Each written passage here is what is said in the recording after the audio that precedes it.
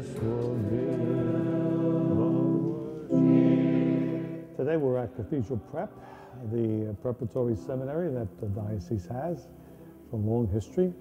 Uh, there's about 180 students here, young men, who, when they come here, promise to discern if they have a vocation to the priesthood. Not everybody obviously has one, but they do promise and they are given support and direction here to see if there is a vocation to the priesthood in life or find their vocation as, as good Catholic men. Today we celebrated the Mass of the Annunciation, the special feast, and one of the features of the Mass was today was the day that they gave out the presents, uh, awards for essays on Our Lady.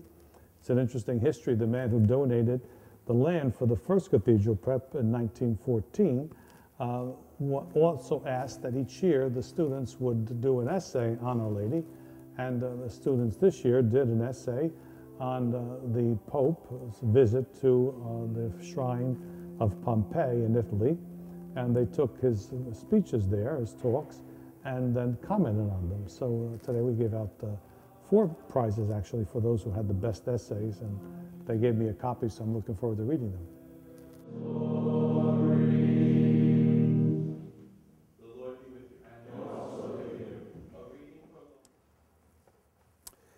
Yesterday's news carried a story about the change in the law regarding Plan B. The Plan B pill is the morning after abortifacient bill, pill which had been restricted by the Federal Drug Administration for use for those who were 18 years of old and age of old and older. Unfortunately, a judge in New York on the appeal said that the FDA had been unduly influenced by the Bush administration, and so now it would be possible for 17 year olds to receive the pill without any prescription. This morning, an editorial in the New York Times wished that 11 and 12 year olds could also receive the pill without any prescription. It only is a sign of our society that has come to see sexual intercourse as inevitable, even with 11 and 12 year olds. It's not the easiest thing to say today, but what does this have to do with the Feast of the Annunciation? I guess it tells us that our understanding of conception, our understanding of commitment and sexual intercourse is totally different from what the world understands today. Yes, today we come with great joy in the midst of Lent to celebrate this feast of the Annunciation. We are happy that Mary was that teenage woman, actually, teenager that she was, who accepted God's will that changed the course of history. And so today we say with Mary, May it be done to us according to your will, Lord. Help us to discern that will. Help us to live it out in our lives.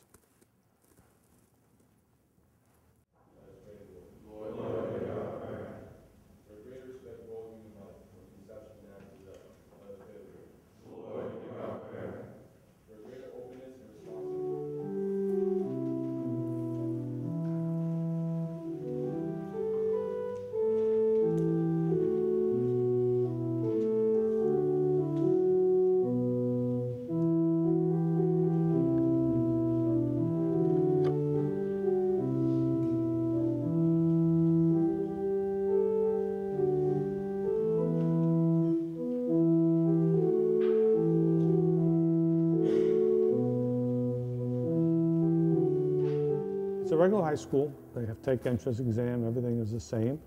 And um, as I say, they do very well. It's a good academic school. And uh, those who discern for the priesthood then would go on to Cathedral uh, College at uh, Douglaston. And um, some would come back later on. It's interesting. We have one graduate now who was um, in his 50s, a lawyer who had gone to Cathedral Prep, had a career, and now he's back in the seminary. So you never know what happens.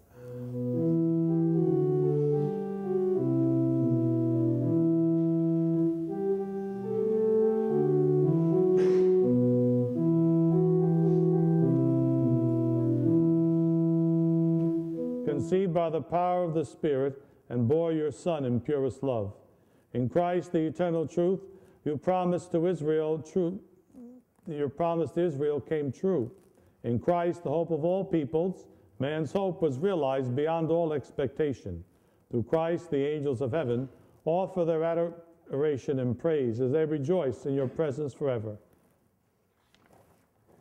This is the Lamb of God who takes away the sins of the world. Happy are we who are called to a supper. Lord, I am not worthy to receive you, but only say the word, and I shall be healed.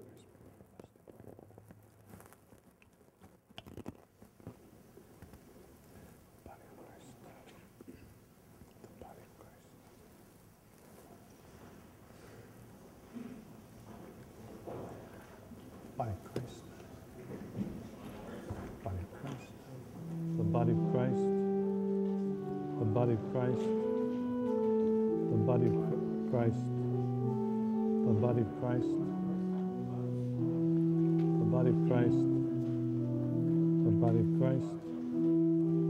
The body of Christ. So this year, each of the boys at Cathedral Prep were assigned an essay. They had to reflect on the Holy Father's words when he visited the shrine of Our Lady of the Rosary at Pompeii. Every student in Cathedral participated, and I have to say, as someone that's read every one of your essays, every single one of you did a fine job, prayerful and reflective. But we'd like to honor in a special way those young men who have written exceptionally fine essays in honor of Our Lady of the Rosary of Pompeii.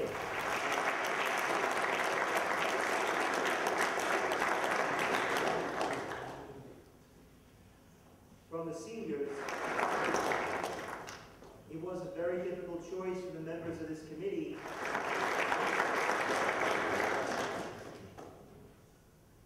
Bishop, we'd like to present you a copy of each of the young men's essays. So thank you very much for your support and love of us and the support and love of Mary. The, um, the fathers of the church, I'm not sure which one, but there's a saying that goes, De Maria numquam satis, which means regarding Mary that you never can say enough. And I guess it's so, so important that we understand the role of Mary in our lives as Christian Catholics. We see her today certainly as the mother of the Redeemer, the one who consented to give birth to Jesus Christ. And that consent continues through history, down through history, because Mary, as each of our mothers given to us by Jesus, gives birth to us as Catholic Christians, gives us that motherly care, that heavenly intercession, which is so important. So, as we plumb the depths of our understanding about Mary, uh, we never can know enough because she is truly a mother. And as we come to understand her, we come to love her more, but mostly we love more Jesus, her Son, and God Himself. Amen. And may Almighty God bless you, the Father, the Son, and the Holy Spirit. Amen. The Mass is ended. Go in peace. Thanks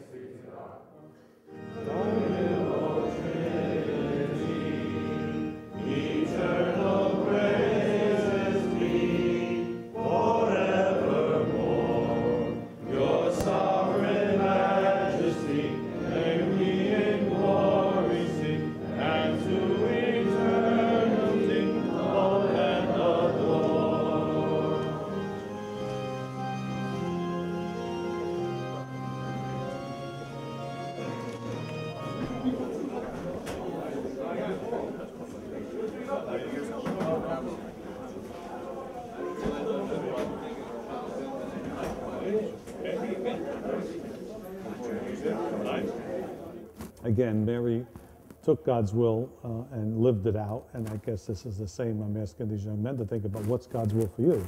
Is it to be a priest, a religious? Is it uh, to follow some other vocation in life? But as, as I said, in Mary, in prayer, understood God's will, the angel Gabriel came to her. I don't think our young men will have angels come to them, but they will in prayer know what God wants them to do. I'm sure of that.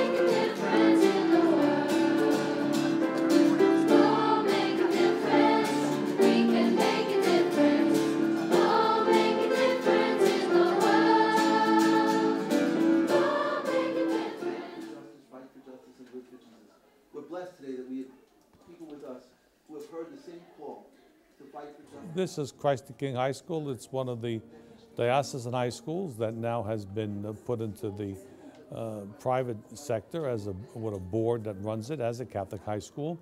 It's a very big school. At one time, there were brothers and sisters uh, resident here. Now those residences are empty. Those that's the third floor or the fourth floor of the building, but it's a great facility: gym, auditorium, uh, cafeteria, many classrooms. Um, it's one of the jewels, I think, of the diocese when it comes to high schools.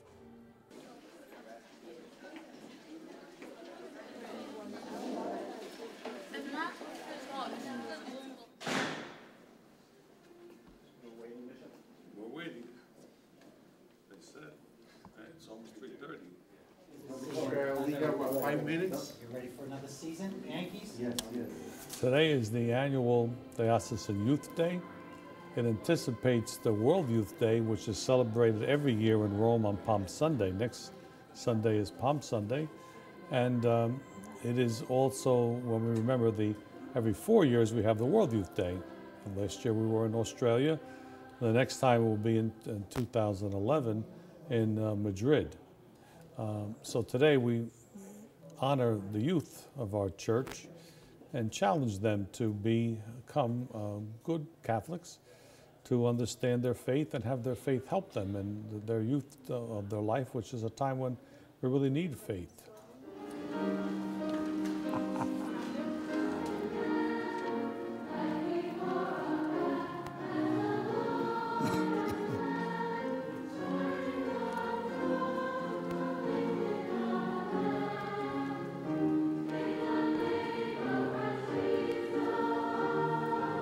My brothers and sisters, it's my pleasure to be with you today as you come to celebrate this annual Diocesan Youth Day. Today is a day for young people. It's a day when all of us must feel young in the spirit. Each time we come to the Eucharist, we have an opportunity to become new again. We call to mind our sins. We seek the Lord's forgiveness, and it comes to us.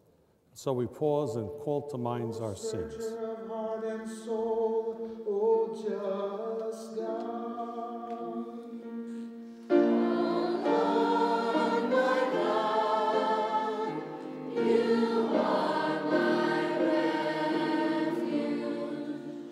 A Yeah, you know, I was invited by the diocese to be not only a part of today, but to do uh, a little bit of the gathering the last two days with seventh and eighth grade and confirmation students. So it was a terrific trip. They had me come out. I've done something every day with young people in the diocese and a family concert last night. Marilyn Santos was the person who invited me, and we've been together at big national conferences and different things like that. And it's just been extraordinary to see the energy and the faith of the young people here in Brooklyn, Queens. Each year on Palm Sunday, the Holy Father in Rome for the last 24 years has had World Youth Day. Yes, it is celebrated every year. Once every four years or three years, there is a World Youth Day when all the youth of the world gather together. Last year it was in Australia. Each year, the Holy Father issues a message for World Youth Day. And this year, he issued a message that speaks about youth as a time of hope. How clear that is. As young people, we understand what hope is. He says, Youth is a special time of hope because it looks to the future with a whole range of expectations. When we are young, we cherish ideals, dreams, and plans. Youth is the time when decisive choices concerning the rest of our lives come to fruition. Perhaps this is the time of life when the fundamental questions assert themselves. We all know that when we're down and out, there's one place we all cry out. We want my mother. We want our mothers because they have a special way of giving us the consolation we need. And so it is with Mary, too. She can give us that consolation and hope when we all other things and other people fail us. Concluding, the Holy Father tells us, Mary is the star of the sea. Ask that she guide you over the turbulence of life, because keeping your eyes fixed on her will give you the hope you need to overcome all things that might be in your way. And so I say the same to you. Keep your eyes fixed on Our Lady and Jesus, her Son, and you never will lose hope, and you always will find the happiness that you want in life.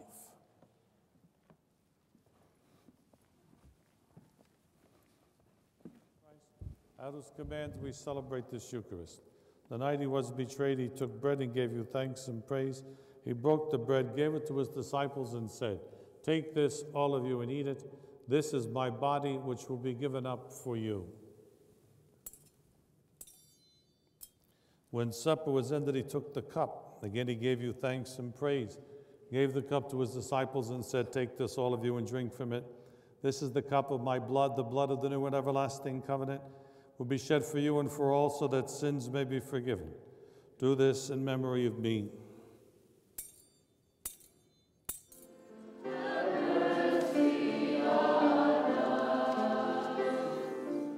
Basically, the program of the day, we, we follow a, a format we call like a mini conference model, which includes a keynote, um, the, the children arrive, there's registration, there's some kind of an expo. This year we went with vocations as a theme, so we have different religious communities here. And then there's a, a, light snack for them, then they have a keynote, and then the young people go off into workshops, or some people call them breakout sessions, where they get, um, they're more specific in topic. And then we always have liturgy as a community of Catholics. We feel that that's really key. And then another thing that we do really well as Catholics is we eat well together. We break bread. So we always think, you know, we break bread in the Mass and then we end the day um, in a community meal. Um, and that, that's basically it. It's a long day. You know, we usually go from around 12 to 6 p.m. So people usually live here, both adults and young people, exhausted. But it's a really different kind of exhausted. If it's possible to be exhausted and really full of energy at the same time, that's what I always see happening when people leave here. The body of Christ. The body of Christ. The body of Christ. The body of Christ. The body of Christ. The body of Christ. The body of Christ. The body of Christ. The body of Christ. Body of Christ. The body of Christ. Body of Christ. Thank you for being here with us today. for you as a little remembrance of the day. Anna, one of the members of our youth council will present it to you. 2X, very good. We want to thank Marilyn Santos for the wonderful leadership she gives to the youth program in our diocese. And I hope that we, when we do this next year, we have double the amount. So tell your friends that it's a good day. God bless. And may Almighty God bless you, the Father, the Son, and the Holy Spirit.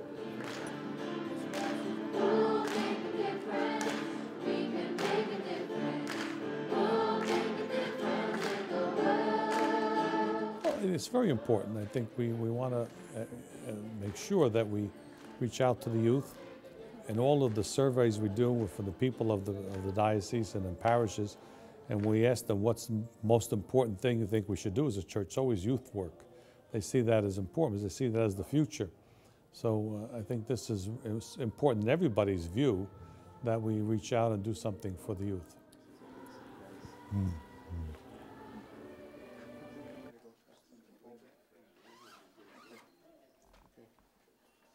I mean, we, we, we really did kind of most of the planning because what she did, what she just told us, this is what it was about. This is the kind of, this is the age range she was going to have. And then what she told us was basically, what do you think people at this age want to talk about?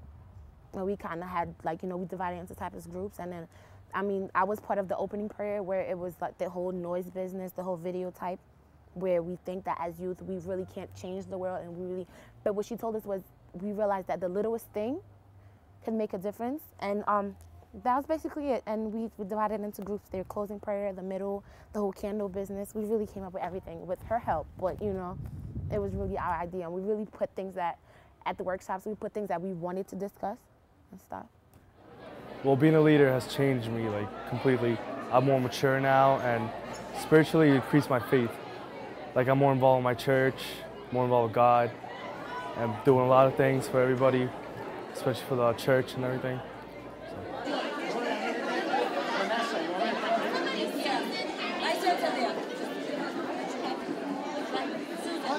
Lady of Lourdes. One, two, three.